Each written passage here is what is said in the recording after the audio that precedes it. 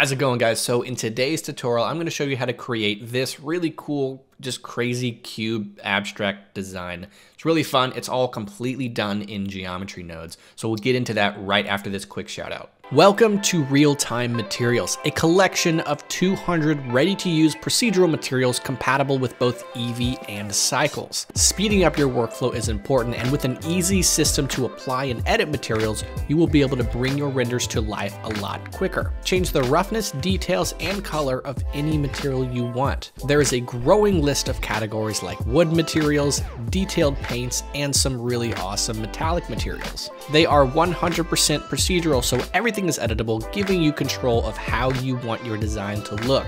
All updates are free upon purchasing, so head over to ducky3d.com and check it out.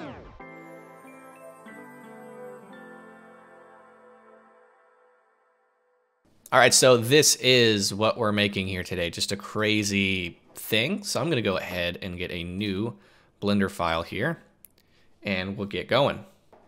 So I'm gonna go ahead and delete everything here in the scene and we're gonna get a plane. That's all we're really gonna need.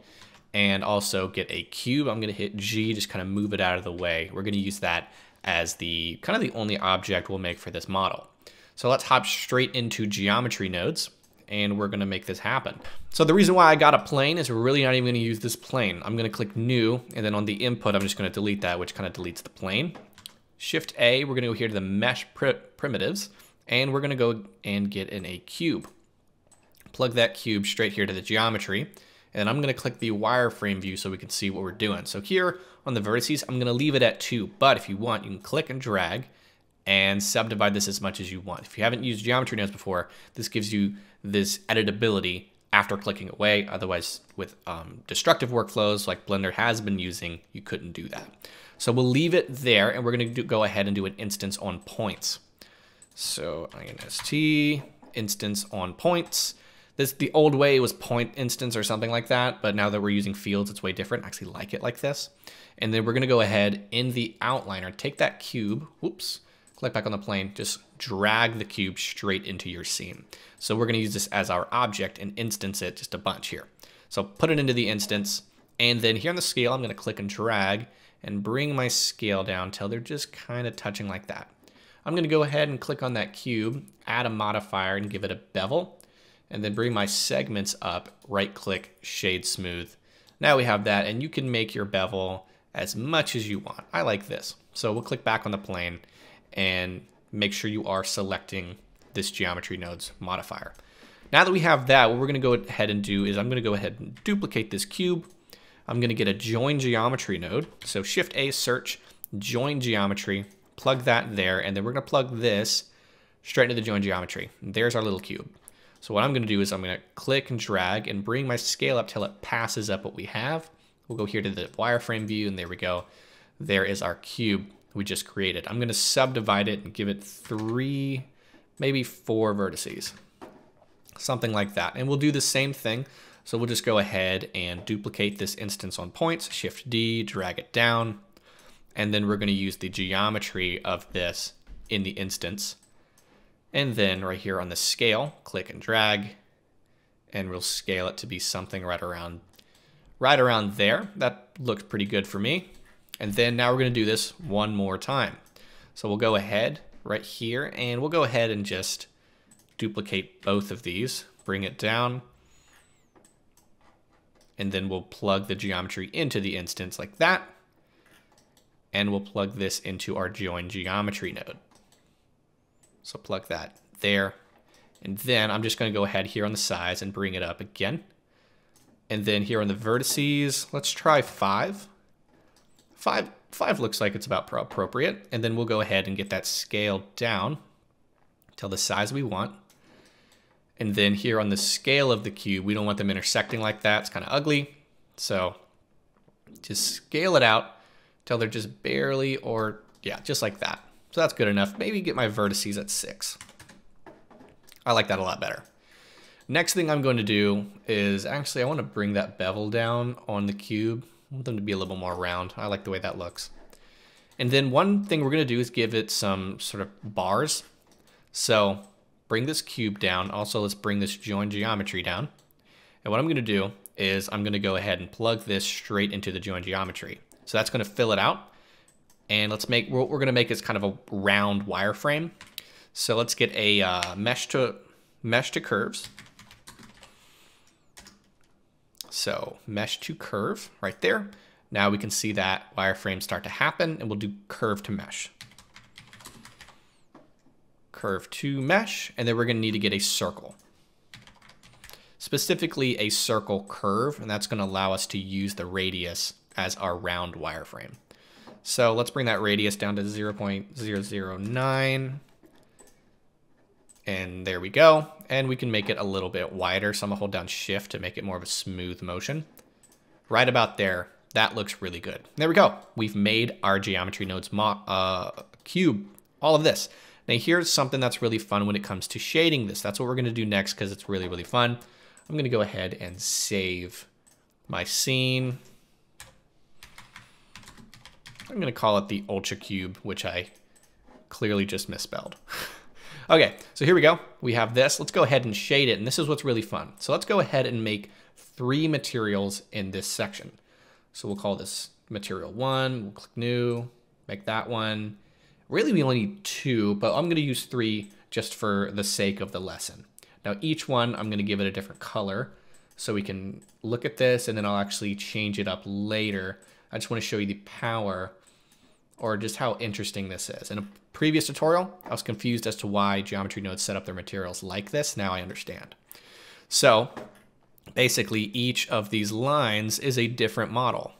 We technically have four models. This is one solid model, but we have four of them in here in geometry nodes. So what we're gonna do is here in material, we're gonna do set material, just like that. If I click here, we have the selection of materials we just created. So we'll do that. And then I'm gonna go ahead and duplicate this and place it there, get a different one, duplicate that, get a different one, and then we'll go ahead and duplicate this and give it that orange one. There we go. That's how shading and geometry nodes works. Otherwise, you would just have one uh, material on the whole thing. This gives you a lot more control. It's really fun. Now let's go ahead and actually give this an interesting material. Uh, uh, we're really just going to use two materials. So we're just going to stick to this blue one and this orange one. So the one on the inside, the big one, is going to be a emissive material. So I'm going to click on it, go on principled, and switch to emission. Right there.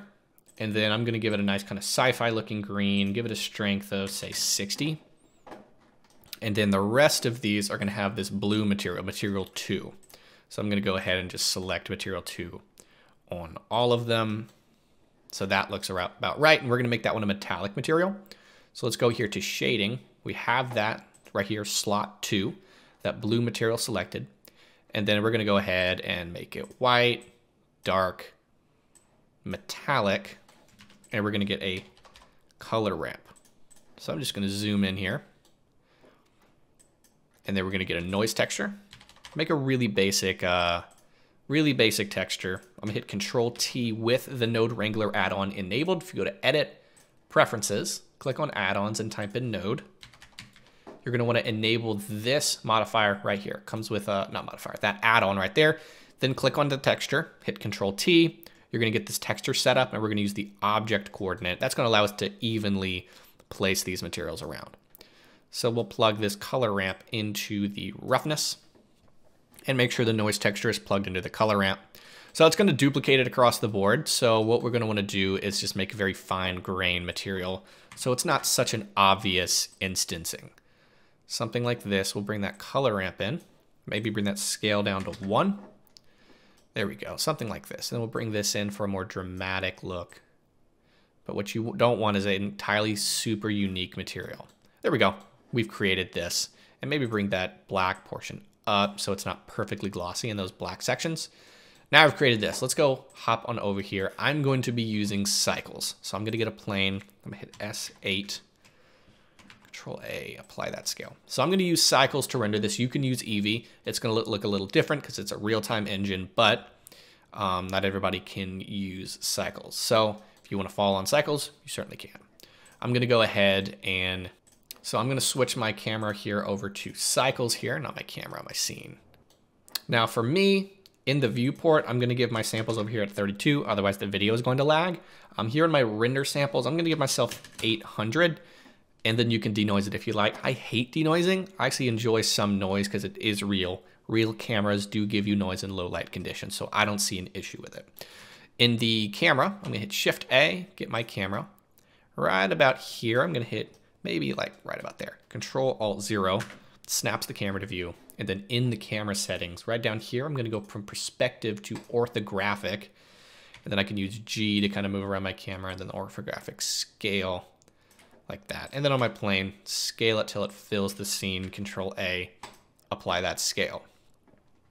So now we're dealing with this. Let's go ahead and light it a little bit because it's gonna be lit pretty cool. So here in the world, I'm gonna bring this down and then right here on volume, go from none to principled volume and then make their density really low. So something right around here. And then on the object, I'm gonna click on that emission material and give it a strength of like 150. That'll make it much brighter. But in order for the scene to really make sense, I'm gonna go ahead and add in a point light. So I can't really see much. I'm gonna hit Shift A, get a light, point light. I'm gonna hit G and move it right behind my camera. I mean, right behind my object. And then maybe 5,000 on the brightness. That might be too bright, but who knows? No, that's actually just bright enough. And then we'll make it a little bit more blue. There we go. I think it's a little bit too close to the edge. I'm gonna hit G and move it back. So there we go, we have that. And then I'm gonna go ahead and shift D and move this over here for more kind of ambient lighting and maybe hit that at like 2000 just like this. So now we have this whole scene. I'm running through this really quickly. When i initially made the design it was a lot more glossy which i guess we can do right now. So we'll go back to shading. And then here on slot two we'll go ahead and make this a lot more shiny. So we'll bring this all the way down maybe bring this down as well. That's going to play with your glossiness, which in pretty much will make it look a lot cooler here. And then maybe play with this second point light. Give it three, 3000, so there's more reflections here. And there we go. We've kind of created this. Oh, I remember actually added an area light above it as well. I was wondering why it didn't look that like that. So I'm gonna hit Shift A, add an area light, which I need to go back to my layout so I can see this scale it up, bring it up a lot higher, and give it maybe a power of 2000. Oh, that looks way better. Okay. Now we're dealing. That's why I put that ambient light to the right, because I was thinking there's not going to be very many reflections. This looks a lot better. So we can bring this down a little bit if we want. Oop, scaled it. Just bring it down just like this. And now we've kind of created the scene. What I would do if I were you is deal with your lighting, play with it to get better reflections. Here on this ground plane, I'm just gonna go ahead and make it really dark and then make it really glossy so there's some nice reflections here on the ground. And now you've created this really, really cool scene. Um, it's gonna look like this here in Eevee without those Eevee settings turned on. If you're following an Eevee, I'm gonna switch here to Eevee and make sure these settings are turned on. So that's how it's gonna look in Eevee. I would work on the lighting, especially here in Eevee, because it's not, you can't really see what's going on. Um, but in Cycles, big fan of how it looks here in Cycles, and that's how you create this crazy tesseract thing, whatever you want to call it. You can have a lot of fun with it. This concept works with any of the primitive objects or any any instance you throw into geometry nodes. So there you go. Thank you guys for watching. Again, if you want to check out real-time materials, it's in the description. Thank you guys for watching.